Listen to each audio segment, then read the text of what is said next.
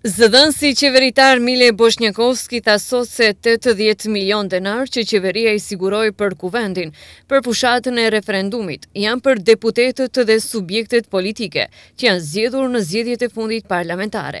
Ai ka qartësuar se qeveria në seancën e djeshme ka miratuar vendim me të cilën angazhohet Ministria e Financave të përgatit propozim-vendim për sigurimin e tetëdhjetë milionë denarëve nga rezervat buxhetore apo nga shkalla Funksione të shtetit nga buxheti i Ministrisë, që do të vihen në dispozicion për zbatimin e fushatës së Kuvendit, si propozues i autorizuar në referendumin.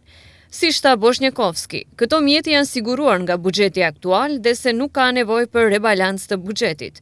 Zëdhënësi i Qeverisë mes tjerash sqaroi edhe mënyrën se si do të zhvillohet fushata, duke theksuar se një pjesë e mjeteve financiare do të shkojnë edhe për komunikimin përmes rrjeteve sociale, Facebook, Instagram dhe Twitter, Flickr apo YouTube, për të cilat Qeveria do të ndajë mjete në lartësi prej katërqind mijë denarëve nga buxheti i rregullt i Sekretariatit të Përgjithshëm të Qeverisë. Ndërsa, aktivitetet tjera do të realizohen në kuadër të aktiviteteve të rregullta qeveritare, Pritet që fushata të intensifikohet në dy javët e ardhshme.